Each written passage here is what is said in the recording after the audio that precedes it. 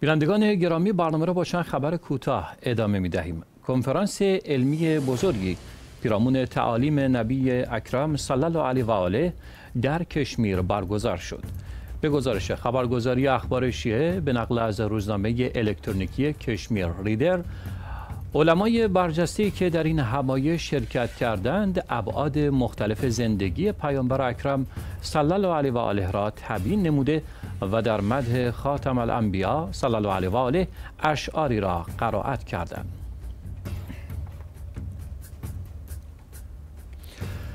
مسلمانان بلکبرن در لنگشر در انگلیس یک روز فرهنگی برای جمع کمک های مالی به منظور تکمیل ساخت مسجد جدید رزوان برگزار می کنند. مسجد بلکبرن در لنگشر در انگلیس اعلام کرد یک روز فرهنگی برای جمعآوری کمک های مالی به منظور کمک به تکمیل ساخت مسجد جدید ارزوان که از کمبود برخی مصالح ساختمانی رنج می‌برد برگزار می شود.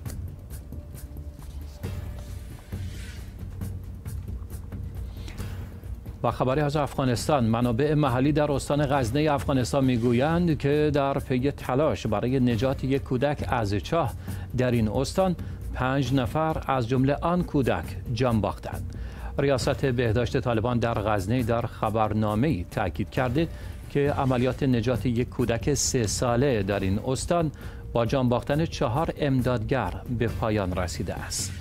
ریاست این اداره افزوده که تلاش ها برای نجات این کودک پنج روز طول کشید و منجر به جان باختن چهار نفر دیگر شده است.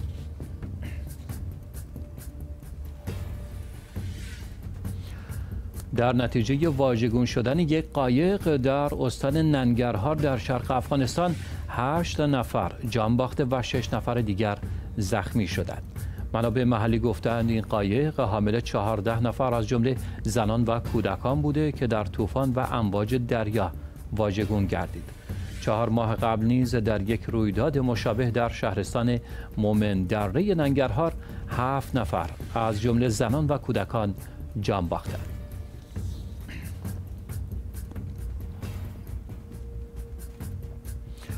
دیدبان حقوق بشر و عفو بین الملل. سیاست ها و شرایط غمانگیزی را که مسلمانان اویغور از آن رنج می‌برند جنایت علیه بشریت می‌دانند و خواستار پایان دادن به یک دهه بیعدالتی در مورد آنها شدند.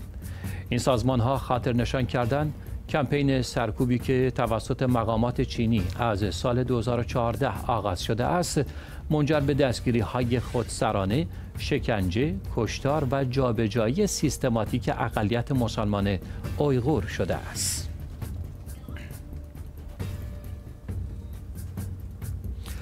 در پی برخورد یک دستگاه تریلی با وانت حامل اتباع خارجی در محور سراوان به کوهک یازده نفر جان خود را از دست دادند و چهارده نفر نیز مصدوم شدند.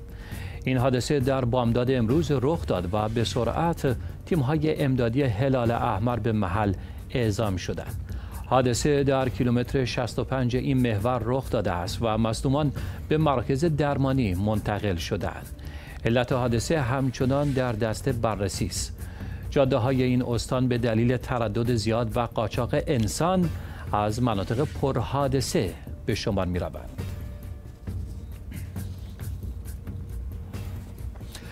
گزارش ها نشان می دهد که میزان افسردگی در خانه های سالمندان ایران به بیش از 70 درصد رسیده است در حالی که این رقم در جامعه عمومی 15 تا 20 درصد است بر اساس پژوهش های انجام شده ایران آمادگی کافی برای مواجهه با سالخوردگی جمعیت ندارد و پیش بینی می شود تا سال 1420 20 درصد جمعیت کشور را سالمندان تشکیل دهد نارضایتی سالمندان بیشتر از وضعیت معیشتی و مالی آنهاست و 54 درصد از آنان هیچ مستمری ماهیانه دریافت نمی کنند.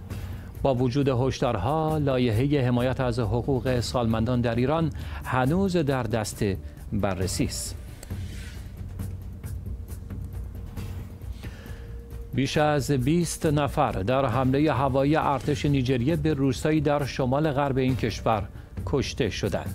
نیروی هوایی نیجریه گفته در این حمله باندهای مسلح و مخفیگاه آنها را در ایالت کادونا هدف قرار داده است با این حال ساکنان محلی ادعا می کنند که به جای هدف قرار دادن گروه های مسلح و ارتش یک مسجد و چندین خانه را منهدم کرده است.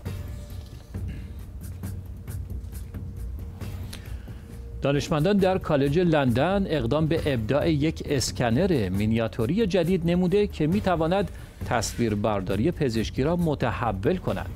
این دستگاه کوچک که قرار است جایگزین دستگاه غولپیکر MRI شود می تواند اسکنهای تصویربرداری را در زمان کم به پزشکان ارائه دهد. تحقیقات نشان می دهد که بدغذایی بیشتر از آنکه حاصل محیط باشد تا حد زیادی به ژن بستگی دارد. البته این مطالعه نشان داد که عوامل محیطی می توانند بر بدغذایی کودکان در دوران نوپایی تأثیر بگذارد. آنچه می تواند به این معنی باشد که اگر کودکی در این سن بدغذا باشد مداخلات زود هنگام برای کمک به او در یاد گرفتن خوردن دامنه وسیعتری از غذاها می تواند در آینده بدغذایی او را کمتر کند.